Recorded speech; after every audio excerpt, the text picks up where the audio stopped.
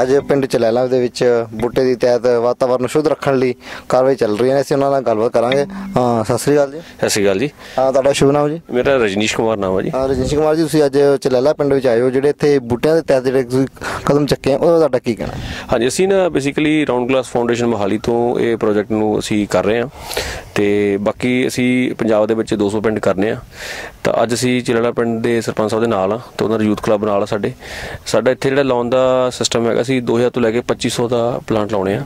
ਤੇ ਪਲੱਸ ਇਹ ਜਿਹੜਾ ਪ੍ਰੋਜੈਕਟ ਹੈਗਾ ਇਹਨਾਂ ਵਿੱਚ ਪਾਰਕ ਸ਼ਮਸ਼ਾਨ ਘਾਟ ਕਲੱਬ ਦੇ ਗਰਾਊਂਡ ਪਲੱਸ ਇਹਦੀ ਮੇਨਟੇਨੈਂਸ ਪ੍ਰੋਪਰ ਤੇ ਉਹਦੀ ਡਿਜ਼ਾਈਨਿੰਗ ਬਣਾ ਕੇ ਪ੍ਰੋਪਰ ਢੰਗ ਨਾਲ ਅਸੀਂ 2 ਸਾਲ ਦਾ ਅਸੀਂ ਲੈ ਕੇ ਚੱਲਾਂ ਨੂੰ ਪਿੰਡ ਨੂੰ।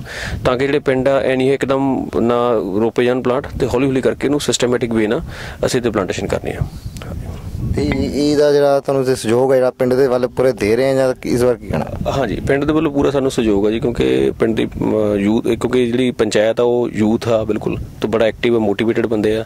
ਇਸ ਲਈ ਸਾਨੂੰ ਲੱਗਦਾ ਜਿਹੜੇ ਹੁਣ ਇਹ ਸਰ, ਪੰਚਾਇਤ ਬਣੀ ਆ, ਉਹ ਪੂਰੇ ਜ਼ੋਰ ਸ਼ੋਰ ਨਾਲ ਕੰਮ ਕਰੇਗੀ ਇਹਨਾਂ ਨੂੰ, ਤੇ ਜਿਹੜਾ ਇਹ ਪ੍ਰੋਜੈਕਟ ਹੈਗਾ ਇਹਨੂੰ ਅਸੀਂ ਕਰਾਂਗੇ। ਤੇ ਇਸ ਤੋਂ ਇਲਾਵਾ ਇੱਕ ਹੋਰ ਦੱਸਣਾ ਚਾਹੂੰਗਾ, ਅਸੀਂ ਵੇਸਟ ਮੈਨੇਜਮੈਂਟ ਦਾ ਪ੍ਰੋਜੈਕਟ ਵੀ ਇਹਨਾਂ ਨੇ ਕਰਨਾ ਹੈ ਪਿੰਡ ਦਾ, ਪਿੰਡ ਦੇ ਕੂੜੇ ਦੀ ਸੰਭਾਲ ਜਿਹੜੀ ਹੈਗੀ ਆ, ਉਹ ਪ੍ਰੋਜੈਕਟ ਆਲਰੇਡੀ ਸਾਡੀ ਇਹ 25 26 ਤਰੀਕ ਨੂੰ ਗਵਰਨਮੈਂਟ ਇੱਕ ਮੀਟਿੰਗ ਹੈਗੀ ਆ, ਉਹ ਉੱਥੇ ਜਾ ਕੇ ਫਿਰ ਇਹ ਸਰ ਪੰਚਾਇਤਾਂ ਪਹੁੰਚਣਗੇ ਅਸੀਂ ਉਹਨੂੰ ਉਹਨੂੰ ਡਿਸਪਲੇ ਕਰਾਂਗੇ ਦੱਸਾਂਗੇ ਵੀ ਕਿਵੇਂ ਹੈਗਾ ਇਹ ਪ੍ਰੋਜੈਕਟ ਨੂੰ ਕਿਵੇਂ ਰਨ ਹੋਣਾ ਕਿਵੇਂ ਆ।